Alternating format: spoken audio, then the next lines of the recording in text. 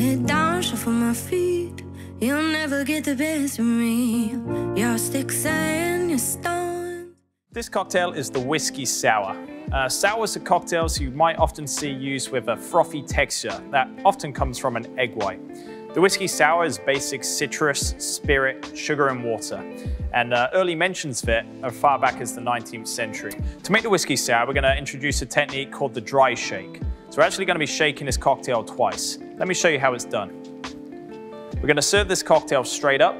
Whiskey sours can be served on the ice as well, but for the egg white to really have its true sort of texture to really shine through, straight up is the way to do it.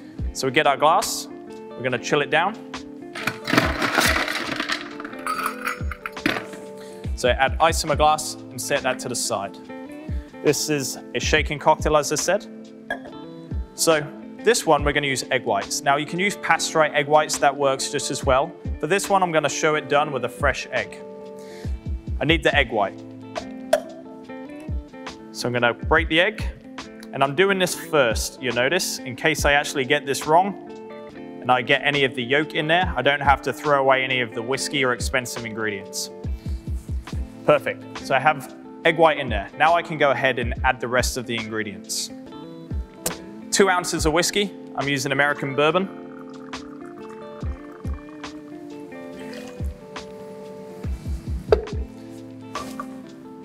Fresh lemon juice.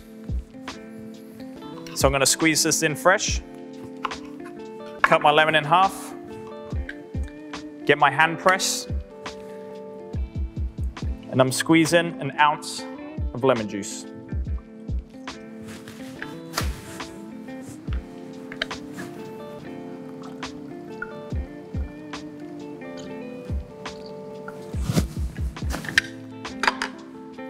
Add the lemon. To balance that off, we're gonna do an ounce of simple syrup.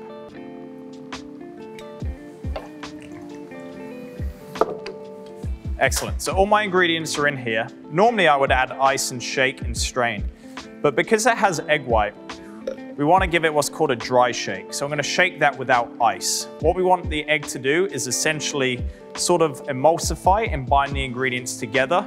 And then we're to add ice to chill the cocktail down. So we're just breaking that egg white's proteins and bond first. So I'm just going to add my shaker on. Just give this a light shake, five to eight seconds. And again, I'm just breaking the egg white up, mixing all the ingredients together. Once I've done that, I can see that it started to sort of emulsify, get a bit creamy. I'm now gonna add my ice to dilute it and to chill the cocktail down like we always would.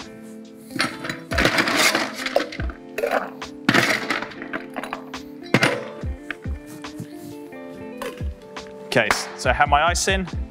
Now we're gonna give it that really hard shake again, five to eight seconds, give it a good shake.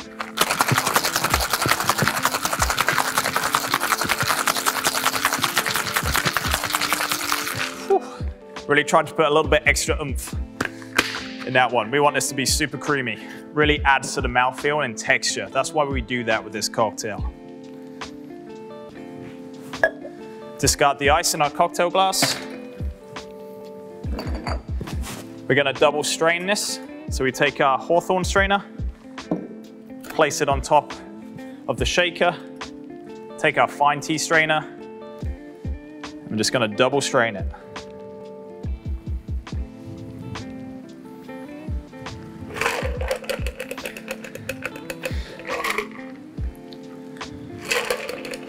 Perfect, and you'll see with this cocktail, we have a wonderful velvety smooth finish because of that egg white we used. Just need to finish it with a garnish. Sometimes when you do use egg, you just can, you can smell it ever so slightly. Don't be deterred by that, but just by using nice oils from a lemon peel, that drink will just smell uh, wonderfully aromatic with the lemon oils. So I've peeled it over the drink. Just gonna squeeze the peel again on top of the cocktail. Give it a twist. Rim the edge of the glass.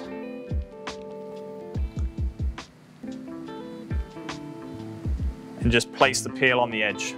And that there is a wonderful whiskey sour. Down, my feet. You'll never get the best of me. Your sticks and your stones.